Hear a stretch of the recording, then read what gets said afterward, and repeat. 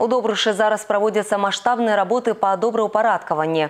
Размова ў першую чаргу аб рамонце дарог. На гэтай мэты накіроўваюцца сродкі, якія мясцовы бюджэт атрымаў у выглядзе падаткаў ад суб'ектаў гаспадарання. Працяг тэмы ў наступным сюжэце. З вышыні птушынага палёту добруш здаецца вельмі прыгожым. Існуючыя праблемы практычна не бачныя, але гэта не значыць, што іх няма. І ў першую чаргу гэта якасць дарог. Так здарылася, што маштабныя работы па добраўпарадкаванні горада не праводзіліся даўно. І на некаторых участках ад некалі новага асфальту практычна нічога не засталося. Гэтае пытанне стала настолькі актуальным, што нават узначаліла спіс тэм, па якіх грамадзяне звяртаюцца ў раённы выканаўчы камітэт. Были э, просмотрены улицы, э, значит, где самые критические моменты. Э, э, и были обращения граждан, э, тоже это все было проанализировано и э, согласовано, какие улицы будут э, подлежать текущему ремонту. На вырашэнне дарожнай праблемы ў добрушы накіравалі сродкі, атрыманыя ў якасці падаткаў ад суб'ектаў гаспадарання. У спісе 10 вуліц і некалькі дваровых тэрыторый. Усё запланаванае павінна быць выканана до конца года, але калі меркаваць па тэмпах работ, здарыцца гэта раней. Пры гэтым работа не абмяжоўваецца толькі заменай асфальту. У дварах вырашылі адначасова прывесці ў